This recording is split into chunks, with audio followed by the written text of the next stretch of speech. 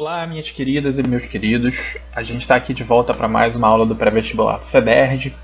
E hoje a gente vai falar um pouquinho mais a respeito da coesão textual, que é bastante importante para as dissertações e, obviamente, para todos os vestibulares que tem por aí.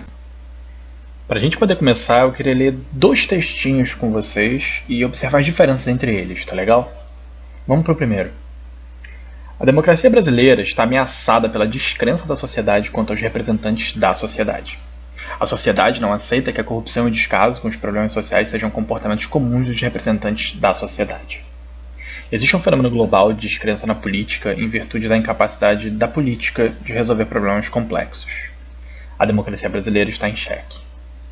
Percebem o excesso de repetição que torna a linguagem um pouco infantil e, e torna o texto também um pouco difícil de entender?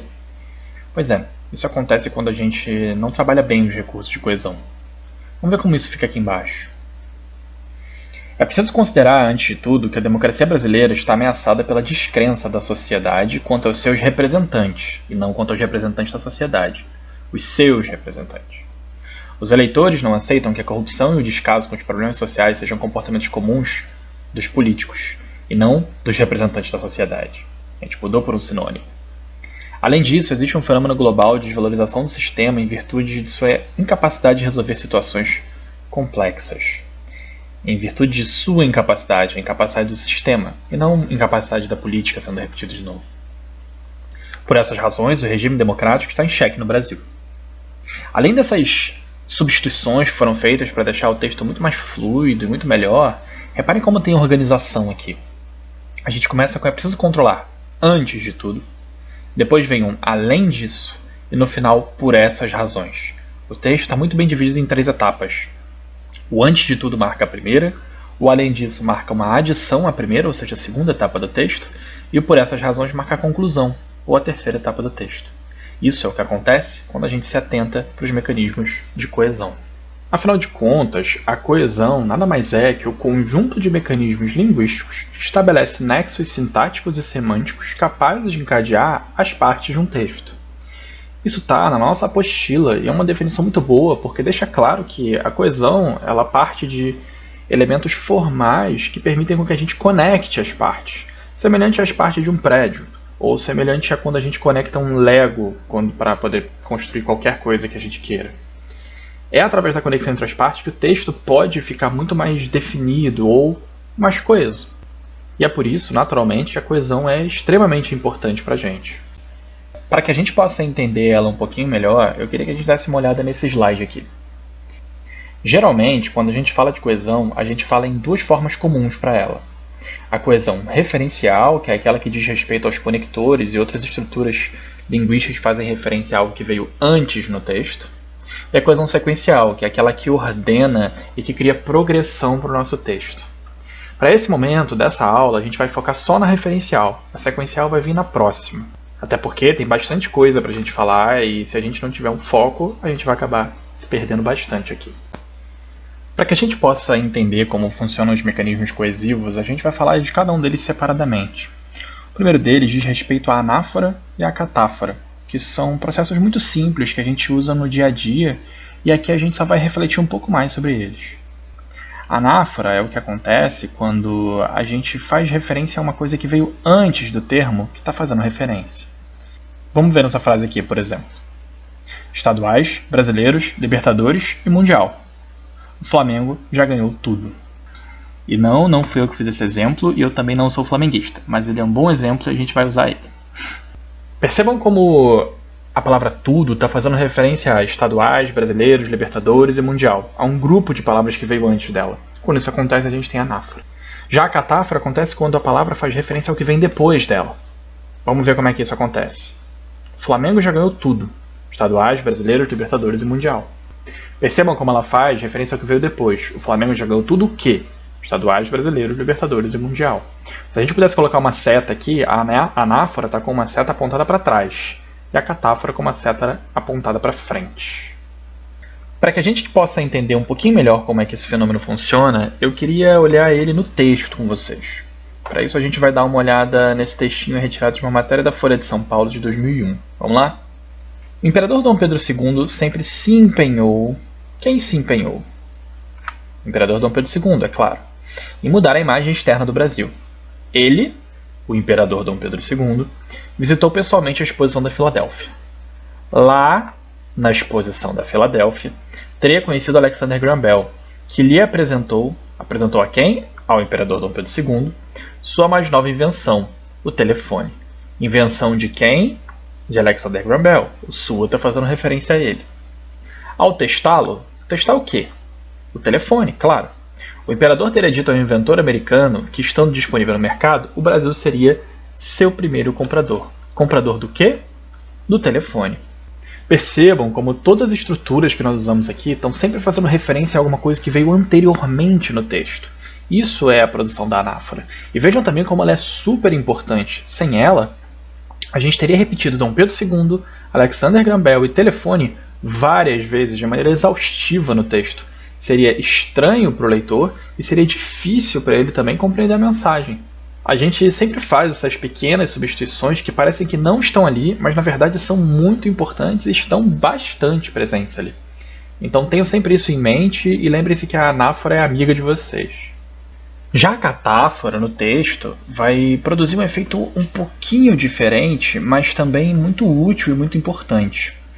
Quando a gente usa catáfora, a gente vai estar sempre fazendo referência ao que virá depois. Então por isso tem uma certa atmosfera de mistério e ela vai também enfatizar o elemento que vem no final. Costumeiramente, ela é muito boa para a gente poder introduzir teses, dar contextualizações e dar a ênfase final que a gente quer dar na tese. Não é sempre que dá para usar, mas ainda assim, quando é possível, é um recurso muito útil. Vamos ver como ela funciona. Seu cotidiano, cotidiano de quem? Não sabemos ainda. Sempre foi marcado pela luta. Primeiro pela sobrevivência, agora pelo desenvolvimento no campo e por uma melhor qualidade de vida para as famílias extrativistas. Trabalhadora rural e quebradora de coco babaçu, ela persegue o que para alguns é uma utopia. Percebam que essa trabalhadora rural, quebradeira do coco babaçu, é uma informação nova a respeito daquela pessoa que tinha o cotidiano marcado de luta lá na frente, lá atrás, perdão. Porém, a gente ainda não sabe de quem está sendo falado nesse texto. A gente vai saber agora. A utopia que ela persegue é uma vida melhor para o povo brasileiro especialmente para as mulheres. A saga de Raimunda pode ser encontrada em reportagem publicada na revista Primeira Impressão de dezembro de 2001. Vejam, portanto, que desde o início eu fui usando estruturas que estavam apontando para alguma coisa, mas eu ainda não sabia o que, que ela era. É só no final que eu vou revelar que coisa é essa. E essa coisa, no caso, era uma pessoa, na verdade. A Raimundo, cujo cotidiano foi marcado pela luta, que é trabalhadora rural, é quebradeira do coco papaçu e etc. Assim eu uso a catáfora para poder construir coesão no meu texto e também produzir um efeito de sentido muito interessante que evidentemente fez a nossa atenção se voltar toda para Raimundo no final. Pois bem, agora que a gente entendeu muito bem como funciona anáfora e catáfora, eu queria dar uma pausa muito breve para a gente pensar numa dica importante que eu tenho para vocês. Eu sei que muita gente costuma ter bastante dúvida a respeito do uso dos pronomes esse e este. E essa é uma dúvida muito válida, já que a gente fala muito pouco a respeito disso. Mas agora que vocês entenderam como funciona a anáfora e a catáfora, vai ficar muito fácil entender o uso desses dois pronomes. A gente vai usar o pronome esse sempre que estiver falando de anáfora, ou seja, sempre que eu estiver retomando alguma coisa que veio anteriormente, ou a minha seta estiver apontada para trás. Vejamos aqui o exemplo. Falta de vergonha, esse é o problema. Esse está apontando para a falta de vergonha, que veio logo atrás. Já na catáfora, a gente vai usar o pronome este. Ou seja, o problema é este, falta de vergonha. A minha seta está apontando para frente. Então, não tem nenhum mistério, é basicamente isso. Se eu estou falando de alguma coisa que vem em anáfora, eu uso esse. Se eu estou falando de alguma coisa que vem em catáfora, eu uso este. Essa é uma dica importante e ao longo da minha vida como professor eu sempre encontrei ela como uma dúvida recorrente dos alunos. Espero que ela possa ajudar vocês a não ter mais problemas com esse tipo de estrutura. Dito isso, vamos retomar o tema original da nossa aula. A gente estava falando sobre as formas como a gente pode construir coesão referencial. Anáfora e catáfora é são duas delas. Mas há também a elipse e o zeugma. São formas muito semelhantes. Elas ocorrem quando a gente oculta algum elemento do nosso texto. Vamos ver como isso acontece? O ministro foi o primeiro a chegar. Abriu a sessão às 8 em ponto. Quem abriu? Ele, obviamente. Só que o ele não está presente ali. Ele está oculto. Quando eu estou ocultando um elemento que ainda não apareceu no meu texto, eu estou fazendo uma elipse. Já o zeugma ocorre quando eu estou ocultando um elemento que apareceu anteriormente no meu texto. Vamos ver aqui. Compramos café e leite. Marcos, torradas e queijo. O verbo comprar já apareceu, mas eu não preciso dele. Ele está implícito quando eu falo compramos café e leite, eu retomo essa ideia para poder dizer que alguém comprou outra coisa.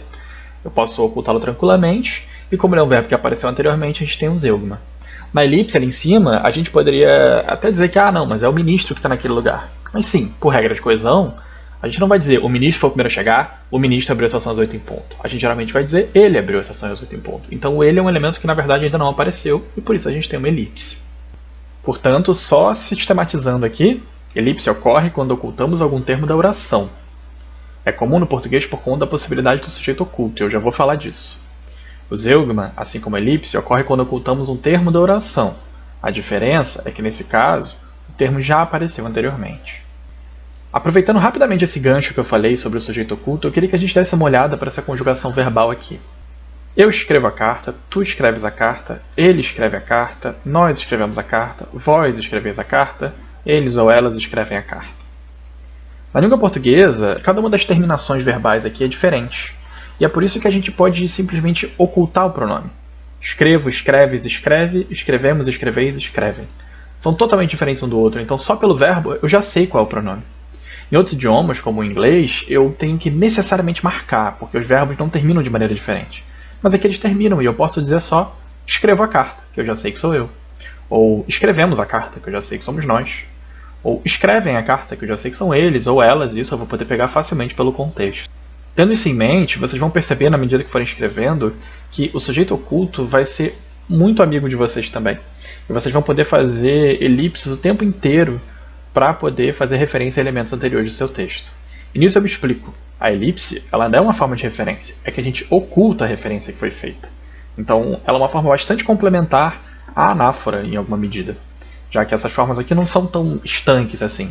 Elas se misturam, elas se combinam e tudo mais. É por isso que quando a gente fala em coesão, a gente sempre está falando em formas cada vez mais complexas. Por último, e não menos importante, a gente tem os termos lexicais para poder produzir a coesão referencial. Termos lexicais são aqueles que vêm do vocabulário da língua, não é?